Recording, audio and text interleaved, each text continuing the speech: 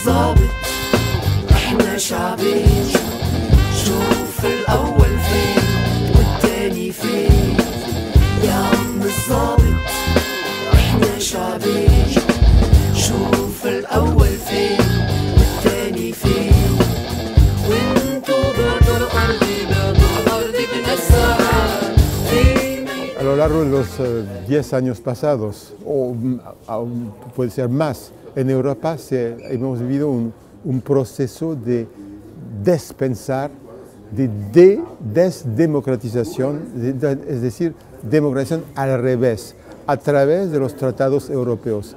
Cada vez más los tratados europeos nos han encarcelado en, eh, dentro de límites terribles que eh, im- impiden todo cambio político de fondo. Eh, y estos tratados, en el caso francés, el Tratado de Lisboa, el actual vigente, eh, es una copia conforme de un tratado que había sido re- rechazado por el pueblo francés a través de, una, consulta, un plebiscito.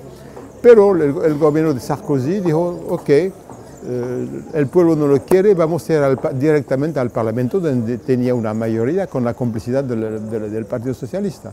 Es decir, que eh, actualmente estamos dentro de un que hemos rechazado, pero que sigue funcionando.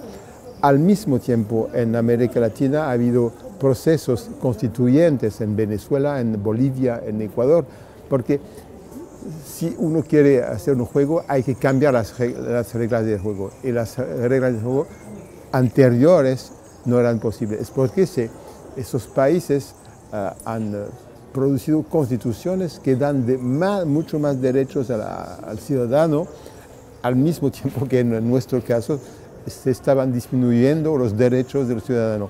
En particular, yo mencioné el proceso de re- referendo revocatorio que existe en la Constitución venezolana y que fue utilizada, eh, utilizado una vez por Chávez, contra Chávez, pero Chávez ganó el referendo en 2004. Eh, eso es, son dos trayectorias completamente diferentes que estamos viviendo.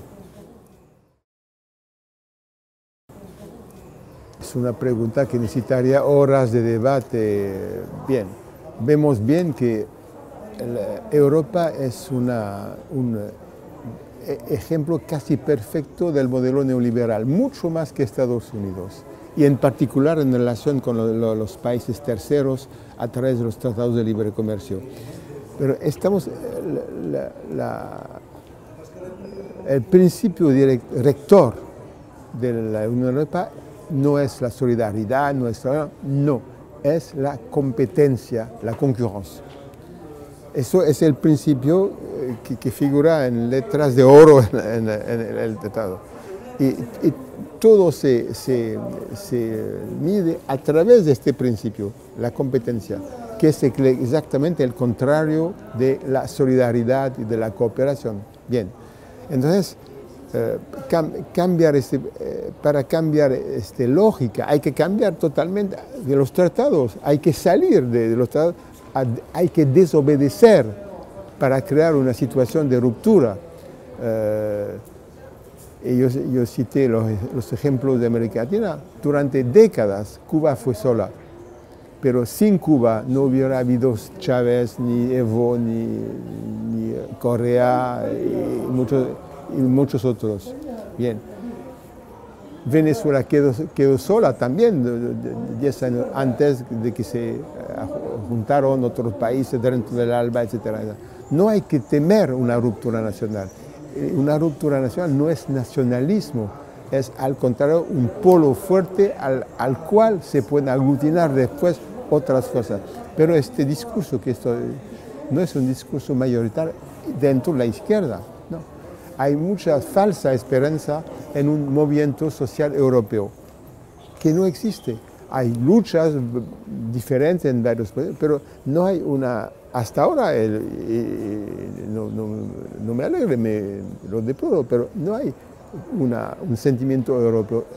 El pueblo europeo no existe, no hay pueblo. Ah, Hasta ahora, dentro de 10, 10, 15, 20 años puede ser, pero ahora no. Eh, lo que se puede esperar es situaciones nacionales fuertes y, con, por ejemplo, si, si en Grecia eh, Syriza, la, la coalición había ganado, eh, estaba en el poder, hubiera habido intensas movilizaciones en todos los países para apoyar a Grecia. Brigadas internacionales hubieran, de economistas de, hubieran ido a Grecia. Eso es Porque no se, el neoliberalismo no se puede, no se puede modificar uh, al, margen. No, tú lo, tú, tú lo enfrentas y lo cambias o tú lo aceptas. Para mucha gente, si tú vas a la calle, eh, haces preguntas en la calle, usted está por, en contra o por el Ah, estoy por, porque hay libre comercio. Eh, parece mejor algo libre que no libre, ¿no? Pero en América Latina la experiencia histórica, histórica es tal que ustedes conocen muy bien los efectos del Tratado de Libre Comercio, que sea el NAFTA, México, con México, Estados Unidos y Canadá, o las amenazas del ALCA que fue, eh, que fue enterrada en Mar del Plata en, 2000, diciembre de 2004. Pero en Europa, incluso en la izquierda y la, la, la ultraizquierda, hay la, la, falsa noción que el libre comercio es una variedad del internacionalismo. Entonces es muy difícil de combatir. La socialdemocracia europea es totalmente en favor de, la... E incluso los partidos comunistas no, no están muy críticos del comercio, porque temen el tabú del proteccionismo. Pero hay varios tipos de... El proteccionismo plantea la pregunta, ¿qué hay que proteger? Hay cosas que proteger. Y el, proteccionista, el proteccionismo puede ser, eso sería un poco más complicado de explicar pero puede ser solidario también. Entonces, eh, la experiencia latinoamericana es muy útil para nosotros, en particular sobre este tema clave.